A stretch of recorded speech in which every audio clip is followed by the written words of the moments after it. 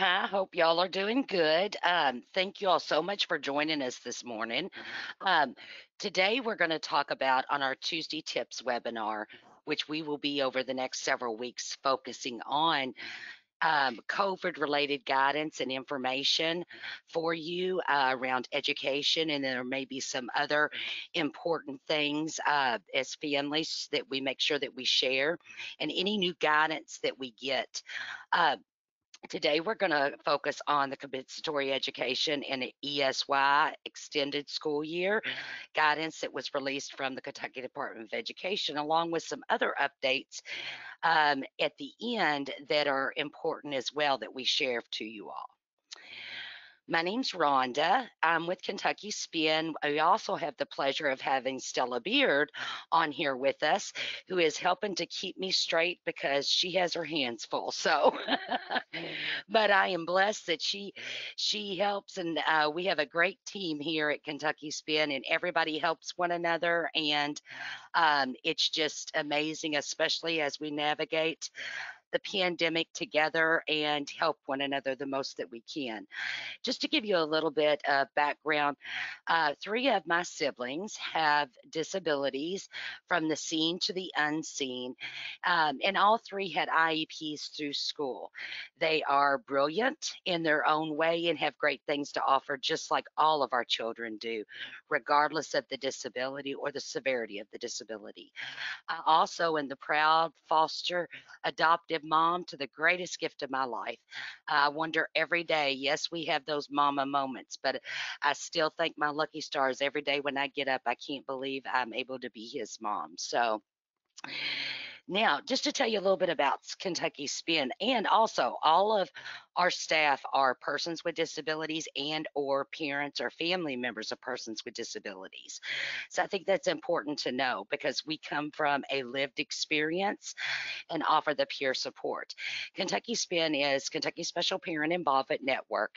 We have the Parent Training and Information Project for the state of Kentucky which is through the U.S. Department of Education and is actually called for under the Individuals with Disabilities Education Act, the federal law, that also calls for IEPs in school and First Steps in Kentucky, the early intervention system. And we've had that since 1988 when Kentucky Spin first, uh, when Kentucky first received one. Um, and a lot of what we do is just so that you know, we don't act as attorneys, we don't represent families. It is that peer support to help parent training and information. Uh, we train a great deal of parents, professionals, youth. So our goal is to help you to be able to advocate for your child. Uh, and knowing about the resources and information available. Um, so we're going to just dive right on in here. Um, and I'm a big believer, and the older I get, the more we work together this is what's truly going to make a difference in our children succeed.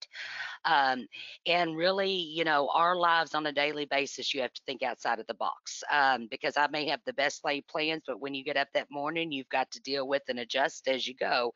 So i don't know if any of the rest of you are like that uh, but i don't think i'm alone. That's the wonderful thing about everybody working together is that especially through this pandemic which is something we could have never dreamed that we would be living through that we're really working to help. Now that also means that since our webinar last week where we went over some updated guidance, things have changed drastically since yesterday.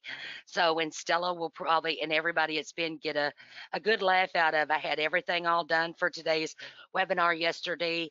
And then um, the um, Kentucky Department of Education issued some more guidance that I needed to go back in there and put in it. And then the governor made a big announcement yesterday. So we know that things are changing hourly. And just like on a daily basis, as families and persons with disabilities, you have to adapt immediately. We, you know, there is no greater group that I think that has been able to adapt through this because that's how our lives are on a daily basis. But just to update you on if you didn't see it or hadn't heard, we've been posting and spreading the word like I know many others have.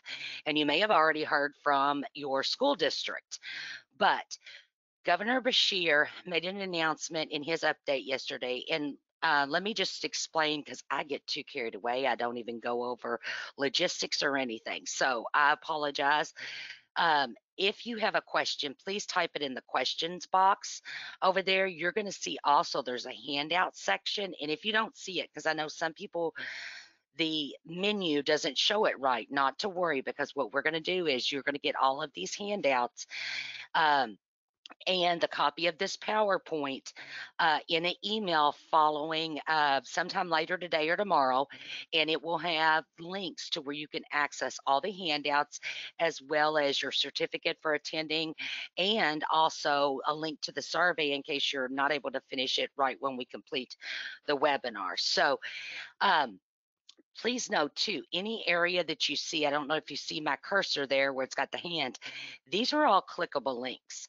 So we have it linked and when you get the PDF there, the version of the PowerPoint, you can click on those and go directly to the guidance on there. Um, so the one thing I wanted to make sure that I shared is that you can click to those so that you get the exact guidance. And you're going to see throughout here, there's a lot of information on the screen. I wanted to make sure that I put the exact stuff from the guidance or recommendations so you have it because it's not important to know what Rhonda said. It's important for you to know and see and know where the guidance is coming from. So during that, and we will pause periodically throughout to see if there are any questions. Um, in the announcement yesterday, it was the recommendation that Kentucky not start in-person classes until September the 28th. This doesn't mean that kids won't start till September 28th. This meant to hold off starting in-person classes to the 28th, meaning that all students would start through non-traditional instruction, the virtual, um, because of the pandemic and the safety of our children and staff and everyone involved. So what this means is everybody had different districts where planning different things. So right now, again, this was a recommendation from the governor after that, um, and this link is to his announcement from last night. Also, Kentucky Department of Education issued a press release, which um, will be on later after the webinar uh, on our website on our COVID page. You can always keep up to date to get the latest guidance on our COVID page. Uh, go to www.kyspin.com and you can click right on our home screen to it to keep up to date. They stated in there, uh, Commissioner Brown of the Kentucky Department of Education, that most districts um, that they anticipated that they would follow this recommendation um, and suit with it because in past the things that have taken place in the pandemic it wasn't a requirement it was a recommendation so what this means is that all of our kids more than likely are going to start this way but what's critical is you need to contact your district to find out is this what they're doing but then also not only that what does this mean? How does your child uh, contact this school? How do we have the communication? But especially for children who have IEPs and 504 plans, we need to come up with a game plan. And we'll talk a little bit more about that in a minute. But I wanted to make sure that was very critical news and change from what your district was probably already providing. I do know that some districts out of the 100 so there's 171 school districts. I know from KDE's press release last night that prior to this announcement, 149 of them were planning to go back at some level of in person. And um, so only 49 were planning to do virtual at the beginning. So your district may have always been planning that, and you may be um, set and good to go. The critical thing here is the communication is what's going to be key. Contacting the school. If you haven't been contacted, it's critical that you contact them so you know what to do to help your child best. So, before we're going to dive into this, um, so just sort of an overview that the federal law Individuals with Disabilities Education Act, IDEA, which calls for IEPs in school in Section 504, we had the 504 plan and the Kentucky Administrative Regulations. None of these, and you're probably sick of hearing me say this if you've been on our webinars, but it's critical that we make sure we remind ourselves. None of these laws, federal, state laws, had anything put into place what you do and guidelines for when there's a pandemic. None of us have ever experienced that. So, given that through the U.S. Department of Education and the Kentucky Department of Education early on in their guidance that they issued addressed that the laws did not address the situation. Um, and again, we're having to think outside of the box, you know, just like we do in our daily lives in regards to the education. Now, you're going to see from early on, because what I wanted to concentrate the majority of the time, because we didn't get to concentrate as much last week on the compensatory education and the ESY like we needed to, because it is so critical. Leading up to the guidance that was recently issued where we're going to talk about that, I'm going to show you guidance that led up to all that, whether it be from the Kentucky Department of Education or the U.S. Department of Education, so that you could see as we went along when things hit in March, there has been different guidance that states about compensatory education. This being one of those that you see on the screen, which was from the uh, Kentucky Department of Education, where it stated that the ARCs on an individual determination will need to decide whether students requires compensatory education for any skills that they may have lost because the student did receive the educational benefit. In other words, have access to it. So just in just plain terms, because I have to be able to picture stuff. When you think of compensatory education, think of what you would have got had there not been a pandemic or had you not received the services, right? For whatever reason. So when we talk about compensatory education, that is just that's related to what you did not get that you should have. When we talk about ESY, extended school year, that's totally different. That is what you receive if it's decided that that's what's appropriate on an individual basis is so you don't lose what you already have right so you maintain not to learn new skills but so that you do not lose what you already have because for many students with disabilities um, the loss over breaks and, and different things is much greater than students who do not have a disability. And we're going to talk about all this in more depth and give you the technical terms of stuff, but just keep in your mind, compensatory education is what you should have got. Extended school year is so you don't lose what you got. So those are Rhonda's just plain terms. and um, I know that seems um, but I think it's important to just always keep that in mind as we go through this, um, because again, things are very tricky and depending upon the situation, what decides. So in this early on, you'll see that with KDE. Then the U.S. Department of Education, under one of their answers, questions and answers area, led to um, when it was answering about if the schools closed and just so you all know for further reference for all students that doesn't if it's closed for all students they don't have to provide iep services right? But if students regardless if it's in person or not are in school, you know, technically doing school, whether it be virtually or in person, they do have to provide the services. But in that answer, also, it stated um, the individual student with a disability um, that required to make, again, the individualized determination to whether compensatory services are needed under applicable standards and requirements. So we won't I just want to show you all areas that have alluded to it and kept reminding us throughout before we get to the larger, the guidance specifically for compensatory education. Again, and another one through KDE stated that we need to look to see, make up any skills that they may have not received in the benefit, any missed IEP services and look to see if there is compensatory education needed based on it wasn't able to be provided because of the pandemic. So now you might think, well, why is Rhonda putting in here about the um, CARES Act? Well, because in those, it also built up and addressed and a couple of things because when we talk about compensatory education and our first thought i don't know if it's you or uh, uh just me but first of all, our schools aren't funded at the level they should be in the first place, right? So then we're thinking, oh my gosh, there's going to be all this compensatory education needed. So, through the CARES Act, there are two funds the Governor's Emergency Education Relief Fund, GEER Fund, and the Elementary and Secondary School Emergency Relief Fund.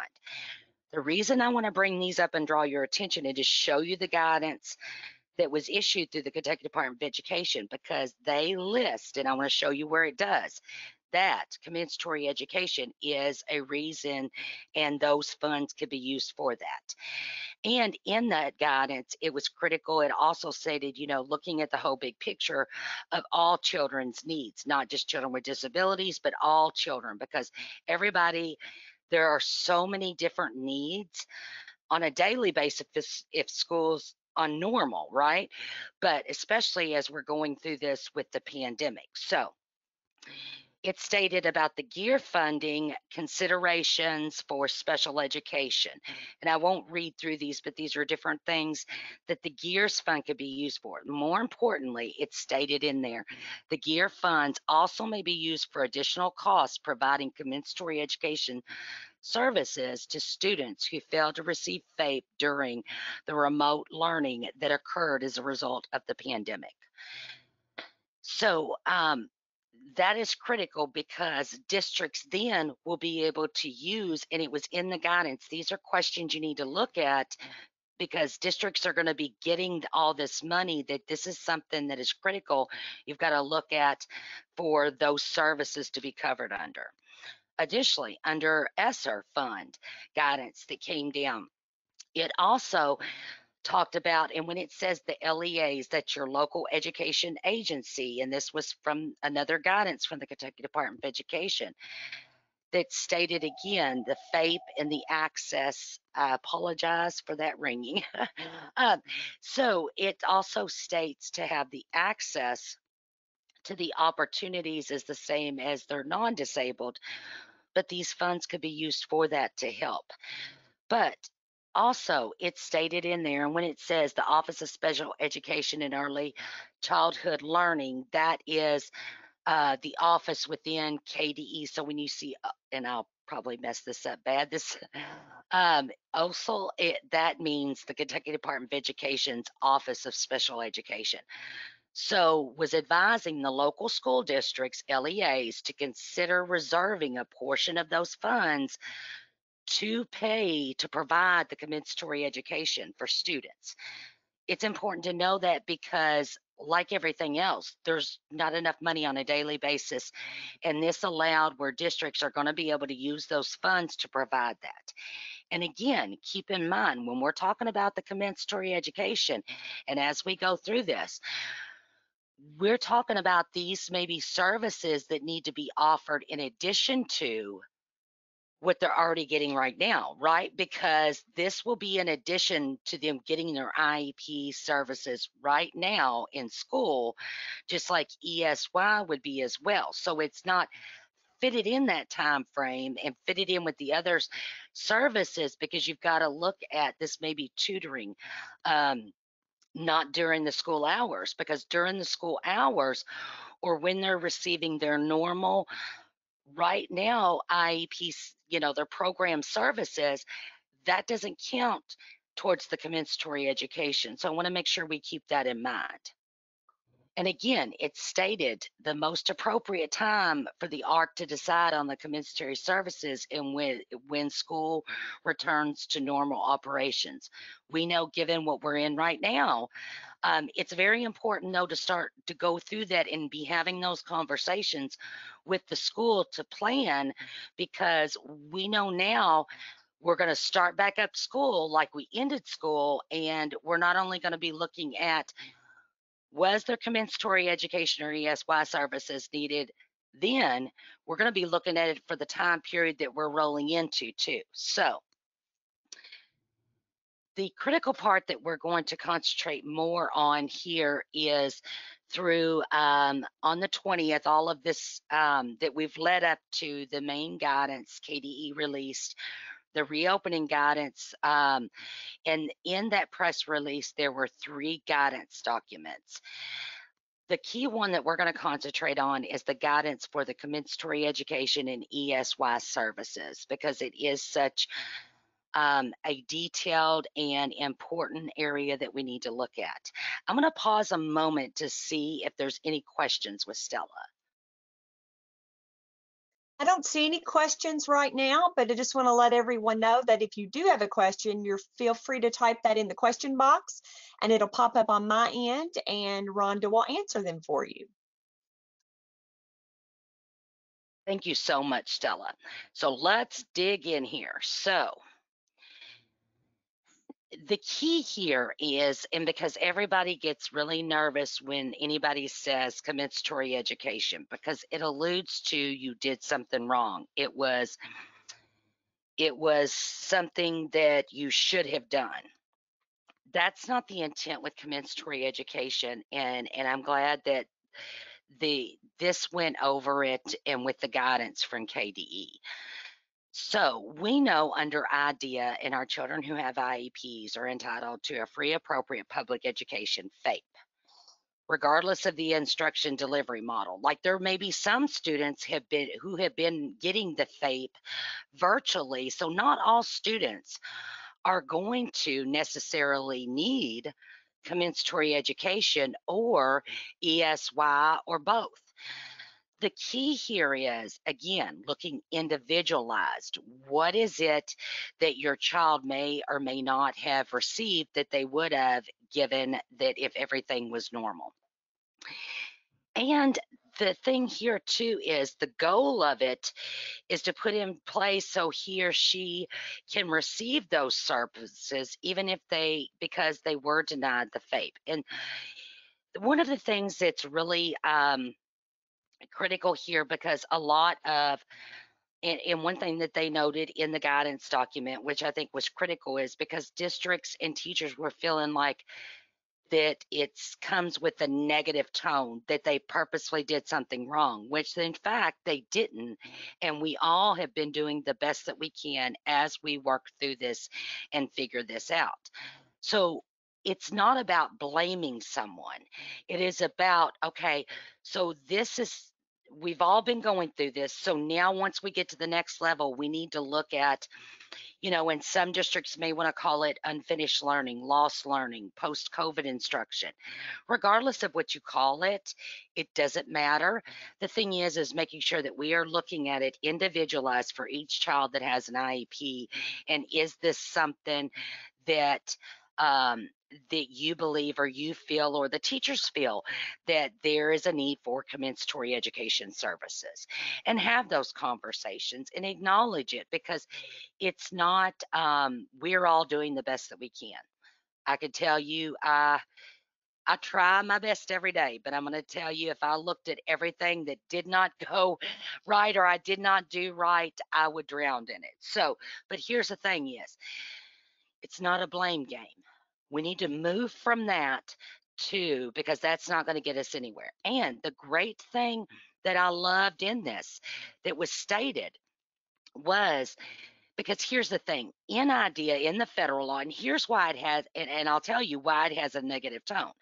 Compensatory education is not in IDEA or the kentucky administrative regulations.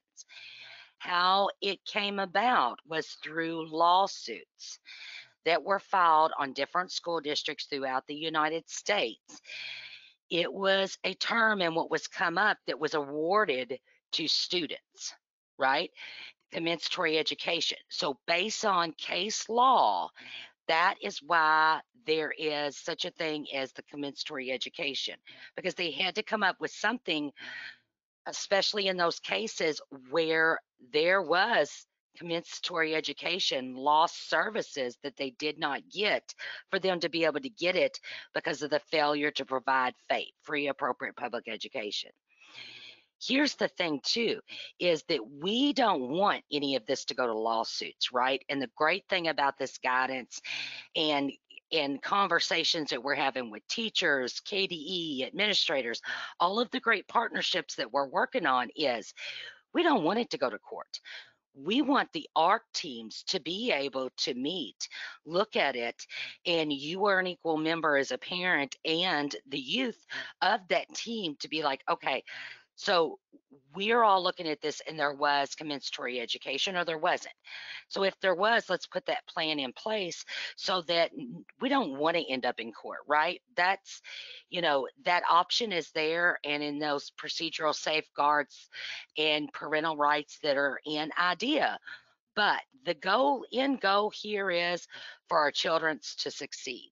The most we could do that with keeping it out of court, the better for everyone involved, right? So this guidance laid out because we have the means. It's not about a blame game. It's about given we're living through a pandemic and we're seeing mass amounts of possible commensurate education throughout the United States that's going to have to be provided because the services may not have been be able to be provided based on um, requirements through the government, the you know our state government, federal government, for everybody to be kept safe. So now that we know this, um, and we kind of share here, these are some of the things that led to um, being awarded that, that led to there being commensurate education.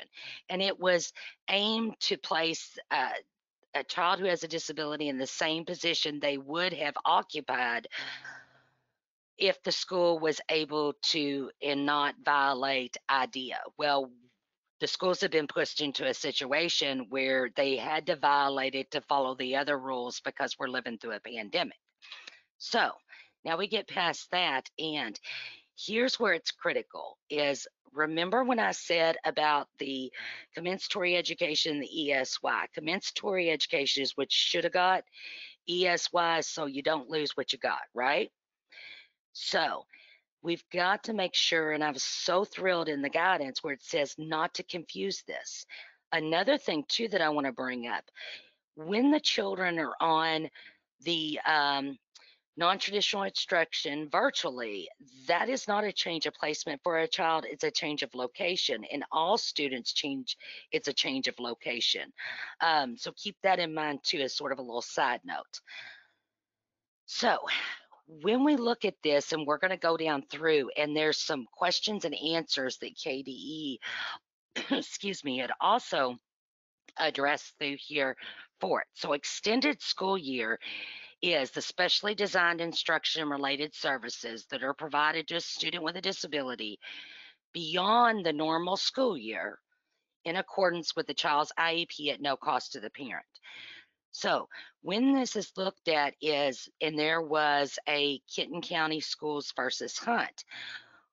When they looked at this is the ESY came from that to provide the student with private program over the summer. So it may be tutoring, it may be working with your teachers.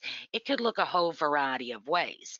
The idea with this is so that kids do not lose, and there would have been um, the ESY is necessary to avoid something more than an adequate recoupable regression.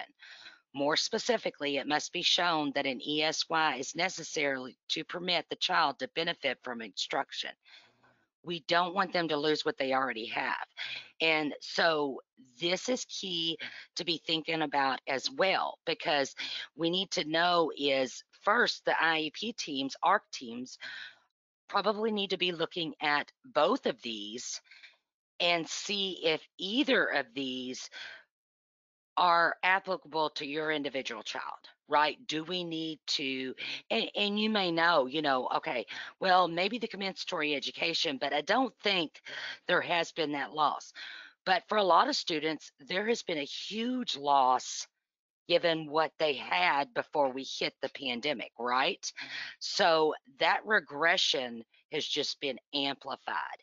That then is a totally different story and what you have to look at versus the compensatory education, which is the what did they not receive uh, and what then are those gaps that they did not get. So let's pause here just a moment to see if there's any questions. Rhonda, we do have a question. Um, one of our participants asked about um, what is normal school and what she is meaning is like when would um, compensatory services start?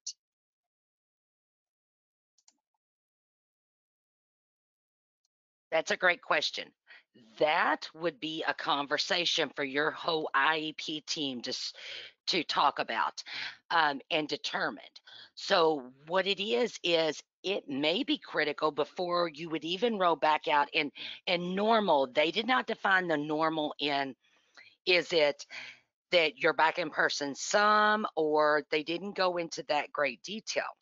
But we can also specifically and Stella, if you'll help keep me straight again, uh, remember, we will specifically look to see if that exact question in other guidance was answered.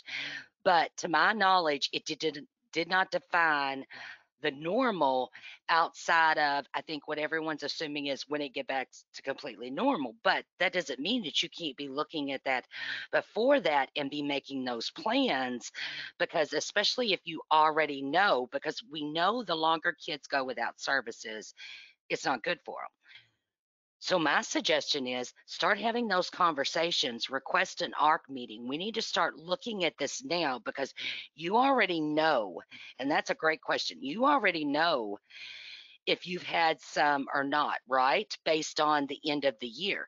So you all can already be having those conversations. And if you did have some, the likelihood that when you roll back out and start the third week of August is that that's only going to add to it too. From to my knowledge, and this will also be something we double checked. And Stella, if you help keep me straight, this will be something too, along with the other one. Did they define normal when normal school starts? And we will give the update in next Tuesday's webinar. Our Tuesday tips is that um, can they go ahead and start it now? So is there things that they could put into place? Again, keep in mind, if it, um, if it starts, it's going to need to be in addition, and they may not be able to start it because what caused the whole thing in the first place is still a barrier. But that does not stop the IEP team from meeting you could do it virtually. A lot of IEP meetings are taking place. We need to start looking at this and start making a game plan so that we can hit the ground running as soon as things do get to however it's being defined as normal. Those services go into place. And in addition, not only do they go in place, but they are in addition to and not taking place during their normal service delivery of the services on a daily basis when things are back to normal that is a wonderful question, and I'm so glad that that you shared that. And that again is something we're going to continually look at and we will check on. But I say right now, the more you plan and the more you work together, it's only going to help our children. So we need to start having these conversations now um, because then the better we plan and our we have a game plan for all of us, the better we're going to know and our children are going to do. So, was there any other Stella? I'm sorry. No, that's all the questions I see right now. And I've written those down and we will follow up and like you said, have those available for next week. Thank you so much, Stella. I don't know what I'd do without you. Um, I owe her so much. um, one of the things, so now when we're looking at this, again with the ESY is the tendency to regress, prior regression, looking at data, um, how quick can they recoup their skills and progress towards their educational goals. Those are all things that's going to be looked at with ESY. Now, I love charts, right? You know, I'm a visual person. So on this, you're going to see, I love that it says what it's not. So you, and I'm not going to read all of these to you because I want to make sure that we have time to get to the questions and answers. But I love how in the guidance, and again, remember, you all can click on all those links uh, within the PowerPoint to get directly to the guidance where it goes over what compensatory education in ESY is not, how the services could be provided. And again, look down there, provided before or after regular school hours, um, including during school breaks. Um, so you see there too that it's also referring to that it's outside of the instructional day, including the during school breaks. So let's go down through the things that they stated was important to remember. Again, denial of FAPE has occurred based on what we're living through, you know, at no one's fault here. We're we're not looking to blame anybody. We're looking at okay, has it occurred? How do we work to make sure that the children get the compensatory education if that has taken place? And the ARC team, the ARC team can come up with the implementation plan for the compensatory education. Again, we don't want it to go to court. The ARC team which you're an equal member of, along with the youth, is that we look at it, see what may have been missed, and calculate and figure out together a game plan. And, excuse me, district must provide the transportation for the students for any compensatory education received too. So you would still have all of those things in place as well as preschool. You've got to look at all of these different things. With ESY, again, you want to uh, see what has occurred, determined annually. ESY is something even outside of COVID that should be looked at for every child and answered is ESY services. There's a spot on your IEP that you all at your annual, at least at your annual ARC meeting, should be looking at that says, is ESY services appropriate or needed? So again, this is just additional and more people are knowing about it. It may not have qualified before for ESY, but they may due to the pandemic and what has occurred. Again, the more documentation, whether for the compensatory education or ESY, the better. Show where they've regressed. They're not able to do it. It could be in an assignment, right? It could be simple. Um, you know, give examples. The more notes you take, document things that you saw, things that occurred. Um, if it was they missed so many minutes when we're talking about compensatory education, they did not get uh, the one time a week, the 30 minutes of the speech therapy, um, which though that could have been provided or could still be provided through virtual means, sort of one on one or in a group. So any of these things could have been provided. It may have been on an altered level, but that's something else you've got to look at too. Was there some parts of it? So it may not be the complete, and I know I'm getting into the weeds here, but keep this in mind too.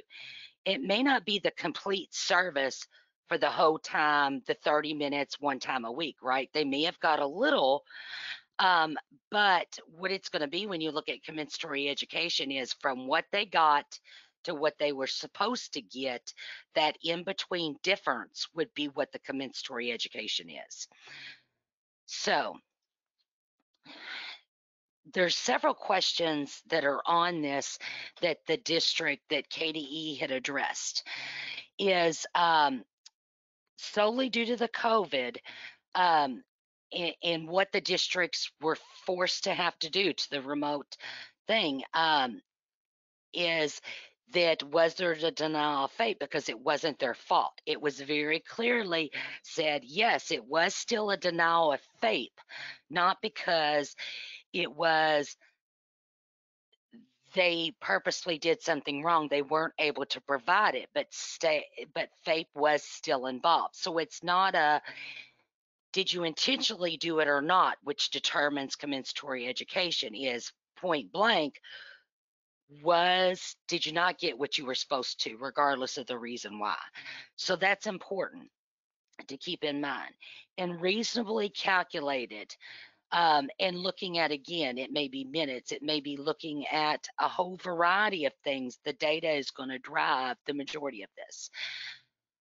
so what special education and related services must be provided to students with IEPs during times of brief school closure? Um, edu- you know, providing the services. When the school is closed due to COVID, it, it is not yet providing any services to the general population. They're not required to provide IEP services. But if they're providing the general student population school, they still have to, regardless of the delivery method, if it's in person or virtually, they still have to provide IEP services. So if the students had needs that are too complex for districts to reasonably provide through remote instruction, and the district is unable to conduct the face-to-face instruction because of the pu- public health, you know, we're in a state of emergency. What should the districts do? So the districts would provide the services that are feasible. Again, think outside the box and make a good faith effort.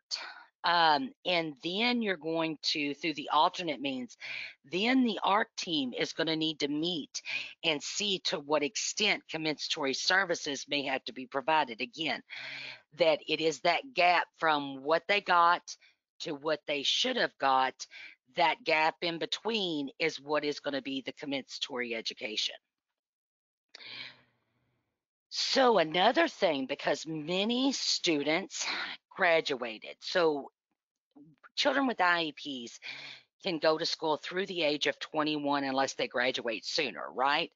So one thing that it's put in here, we had a lot of kids that graduated um, and uh, or, or aged out of the, they graduated with an alternate diploma is can you still get compensatory education? And yes, because it was a denial of FAPE under IDEA when they attended school through the age of 21. And so, yes, it can. So, for students who have already exited school and graduated, they still could have the right to get compensatory education, but that's you've got to request an IEP meeting and all have conversations and look at that and with the ARC team, IEP team, develop a plan. So um, again, I, I was very thankful that was in there because many of our students that may have been the situation so another here was can the ARC team award the compensatory education for preschool too if they didn't receive their IEP services? Yes, because when we go back to um, question A1, they would also apply for preschool students because it's 3 321 and if there was a denial of FAPE they didn't get the, what they should have they can still get compensatory services. Also, when we look at this too, there were questions that came up because some evaluations, which the Kentucky Department of Education and I know the school districts and at the federal level too, um, and especially through the Kentucky Department of Education, we're encouraged throughout this not to delay the evaluation process, to look at alternate means in how we can accomplish this, because for an initial evaluation for an IEP, it's 60 school days. So even when they were on NTI, the non-traditional instruction virtually, that's considered a school day. So the, the important thing to keep in mind for that was those timelines in the federal and state law did not change but they may not have been able to offer, and this is in the initial evaluation or the every three year of reevaluation, they may not have been offered to the extent if it required the one-on-one. So what needs to take place is they need to look at um, especially with the initial, um, if it was for the initial evaluation, if they would have qualified, then the IEP was delayed in starting.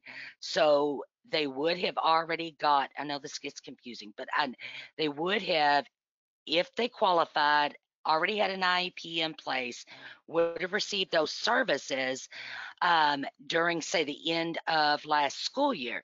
So looking at that, remember what they should have got because it was delayed and they would have qualified for the IEP, whatever date that that would have been in place to the date now, that gap could be considered compensatory education for students if that process was delayed.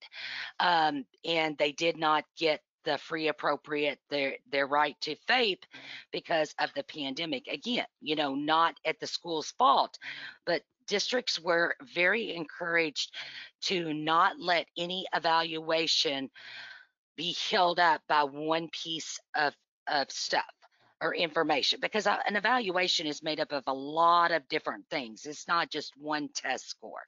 So um, again you still need to look at that if there was going to be a gap from when they would have qualified and an IEP in place to now, there's that gap that they didn't get what they should have. So just keep that in mind. Another thing here um, is, so a big question is, okay, and I know as parents and teachers, how in the world do we come up with what's the amount to award? Again, this is going to be individualized just like each child is individual. And you're going to need to look at quantitative and qualitative data. You can look at a whole variety of things, um, but we've got to come up with some measure. And here's the thing I always suggest whether it's this or when we're talking about IEP basic law start writing yourself notes. Are there things that you see that your child didn't get that's critical that would fall under, make yourself a chart. And it don't have to be fancy at all. Sit down with a pen and paper, one column make compensatory education, one column ESY services. Ask yourself and step through. If you've got your child's IEP, look through it and see, okay, yes, they did get that. It was through an alternate means, but they did get it. Or was there a gap in what it said they'd get in that? What is that gap? start sort of making it doesn't have to be fancy making yourself notes this will prepare going into the iep meeting likewise on the esy if there's things skills that are critical that your child had and have regressed or they have a tendency to regress greatly over the normal regression each child has mark that too. These will be your notes and it doesn't have to be in fancy terms. You will know, okay, and and this is just a, a blunt example of okay, if you know that that that your child would have been learning um, you know, and receiving this service for this and they weren't able to get it, then you know that that was missed service. Likewise, on the ESY, if you're looking at, okay, my child was able to add three plus five before the pandemic hit, but now they're not able to come up with the answer. So looking at it, I know that may seem very simple, but looking at it just in plain terms and writing those notes out. And then everybody coming together to have those conversations to where everybody's input is being taken into account. And that's data. You know that they can't do it and they were able to do it. So just keep those things in mind. Also, should an ARC add ESY services to every child's IEP? No, it's just like compensatory education. Just because they have an IEP doesn't mean that they qualify or even need it. Again, the great thing about the Individuals with Disabilities Education Act and the IEP Individualized Education Program is it's individualized for your child, regardless of the category of disability that they qualify. Because you know as well as I do, and, and I'll use example, my brother has cerebral palsy. Okay. Just because that's something that he needs help with doesn't mean anyone else needs that same help with CP. Or just because Grant has a photographic memory and is able to remember things like you wouldn't believe, that doesn't mean everybody does, right? So all of us are different and unique, and children with disabilities are no different. So we shouldn't assume that they need both of these. We have to look and be able to see and really step through the process as a team to decide if they're going to need it or not. I know we're getting close on time. So we have, and you will have all these in there if you have questions, because there are a couple of updates that, well, first I want to see if you all have, I want to make sure that I point out a couple of things. There's a couple of other updates that we have. And Another I want to make sure I point out that was the uh, one of the other three, just like this was guidance, least restricted environments. I want to make sure that you all saw within that reopening consideration for exceptional learners and preschool students that it stated that practices such as placing all students with disabilities in the same classroom in response to the pandemic may result in the denial of FAPE as well. Pardon me, I'm so sorry. So that is not appropriate. Where a child's placement is decided by the IEP team and what's most appropriate. A least restricted environment in the Individuals with Disabilities Education Act idea is for them to be educated with their non-disabled peers to the greatest extent possible, right?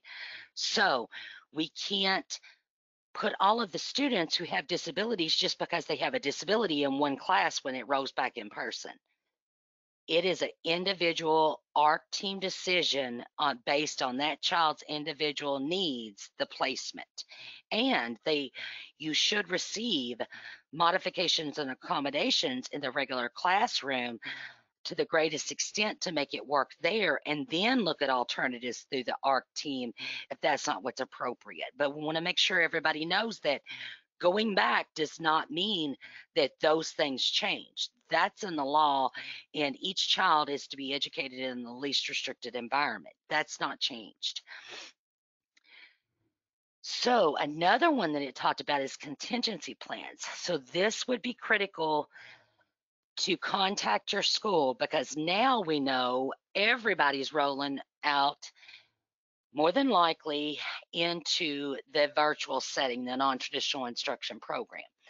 So it may be critical if you all haven't as an IEP team, ARC team, rolled out a contingency plan on what happens if this occurs, that it's in the alternate location through the alternate means. We need to have a, a, meeting and develop a contingency plan because, especially given right now, things are changing daily. We need to, again, plan ahead so we can hit the ground running. What do we do if this occurs? So I was very, and I wanted to make sure that I pointed that out in there again yesterday this was the other part of guidance which i was very grateful for and i've been so thankful that in all the guidance that KDE has been putting out it has been very diligent about making sure that our children with disabilities regardless if it's a disability specific guidance or not that they are taking them into consideration. I cannot say how appreciative I am of that. Mm. And I can tell you all that's unheard of, especially if you look in other states. So I do want to give thanks that we have that. The one that rolled out yesterday was considerations for reopening schools, class size, and virtual programs and courses. So, and again, through KRS, Kentucky regulations, you can go in the law and see what the school class size is.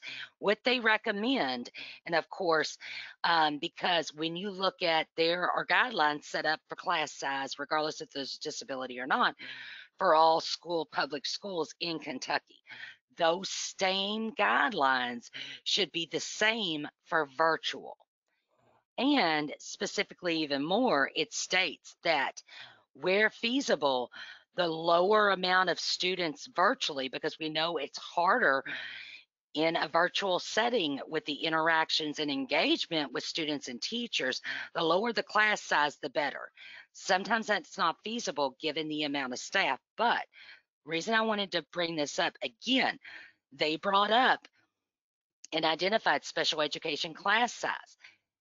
That is different, and that is a placement decision for children who have IEPs. And there are special, because when we're looking at class size where it has to do with, and you'll see on the slide that I just didn't move from before, that those have to do with the, the site-based decision-making councils, SBDMs, with the Kentucky set guidelines for sizes, but there are specific special class sizes that you can access for special education classes mm-hmm. that are even outside of that.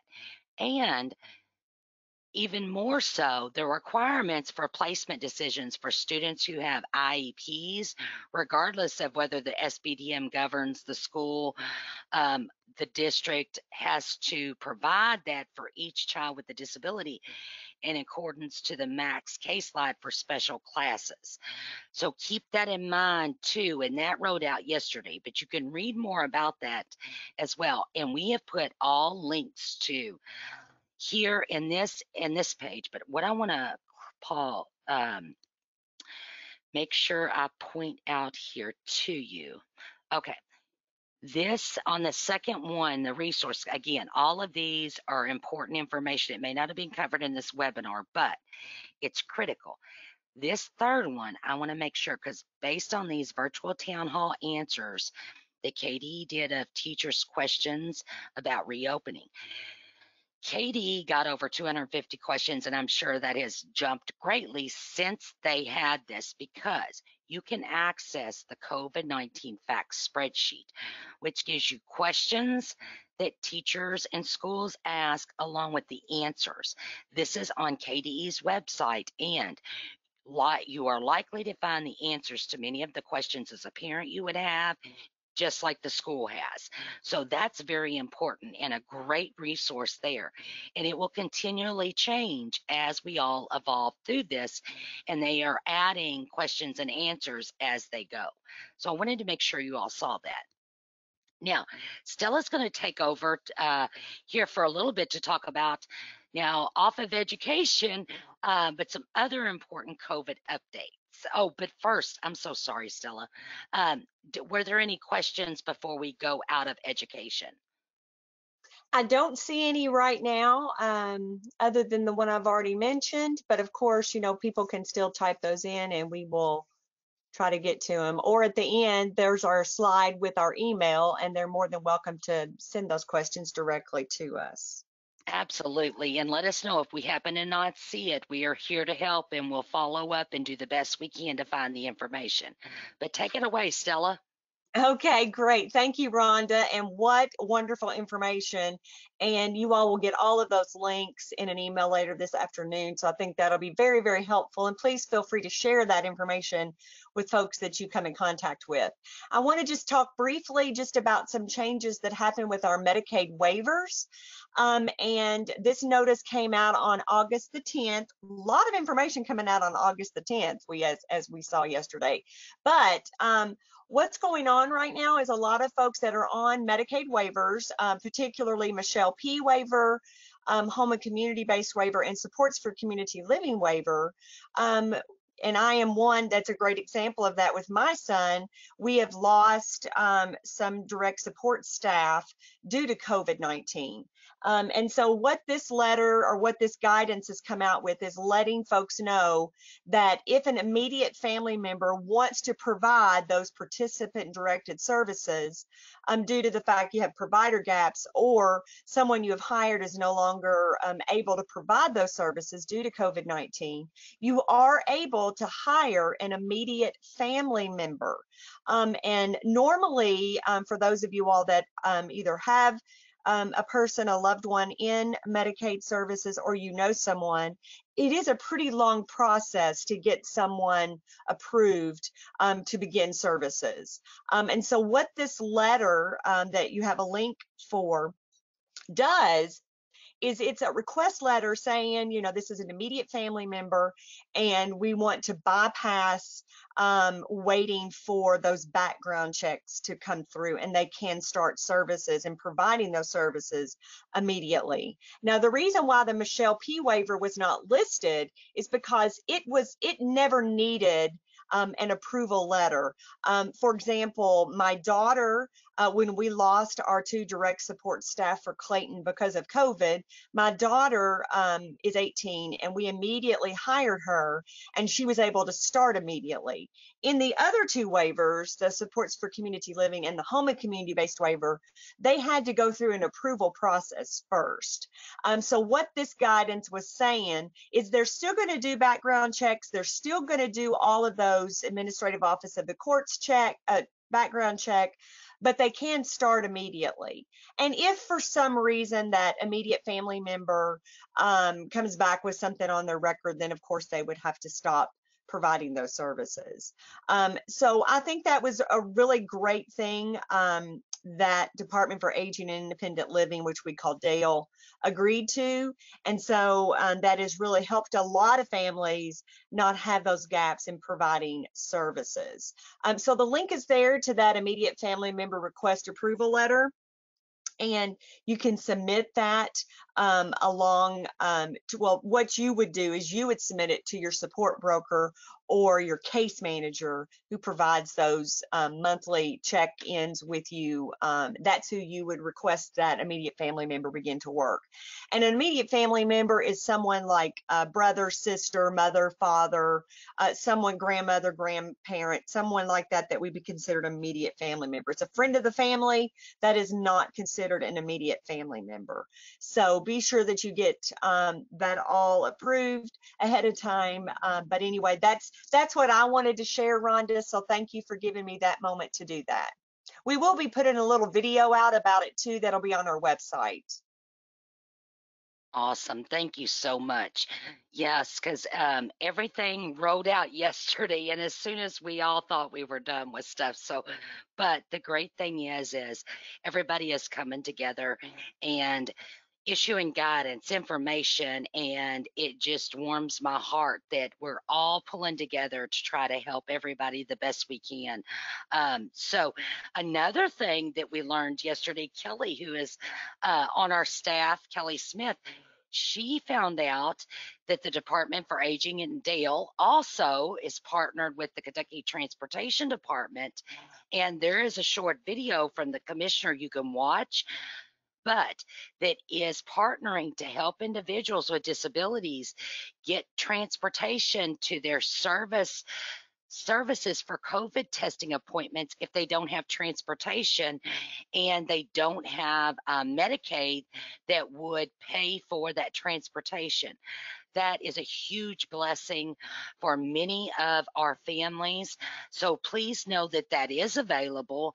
Um, and another great way, because we want to make sure everyone has equal access to COVID testing um, so that we can all be healthy and know what to do. So, again, that is a very critical resource out there. Please spread the word for that. Um, and we'll also make sure, I believe I posted last night on our Facebook and Twitter, but we'll also make sure it's in our e news. So, just a reminder, guys, I know we're at time um, and a minute over, so I do apologize. But is our Tuesday tips uh, every Tuesday at 11 a.m. And don't worry if you miss them um, and are not able to, I know schedules are hectic because we also have Thursday webinars, but we are recording all of those and getting them turned around in record time, closed captioning, and having those available for you. They will be on our website. Um, they are added to our YouTube channel, but know that you will be able to, not long after, access those at any time um, and especially if you saw it and want to go back and and view it again or share with someone. Again you can sign up you can hit directly on our sign up now button here to sign up for our e-news or down here in our COVID web page I talked about earlier. Again, please let us know any way we can help. We'll do the best we can. And um, if you could take just a moment to fill out your evaluation, we greatly appreciate your feedback. And feedback from last week was used to help us to decide to go more in depth with the compensatory education in ESY this week. So we greatly appreciate your feedback and um, hope you know that we are in this together with you and love to you all. Take care and stay safe. Bye bye.